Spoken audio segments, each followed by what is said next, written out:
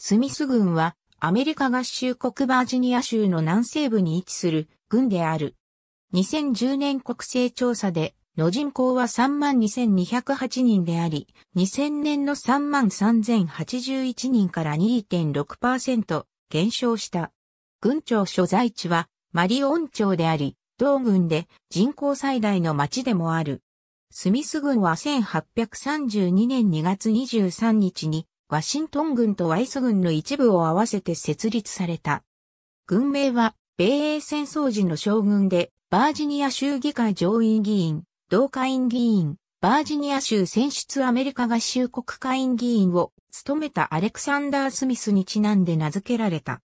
アメリカ合衆国国勢調査局によれば、軍域全面積は452平方マイルであり、このうち陸地452平方マイル、水域は0平方マイルで、水域率は0.05%である。以下は2000年の国勢調査による人口統計データである。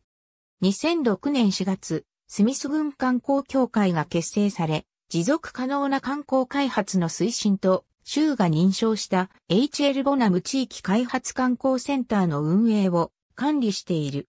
この組織は www.visitvirginiamountains.com ウェブサイトを通じて地域のマーケティングを行っている。ありがとうございます。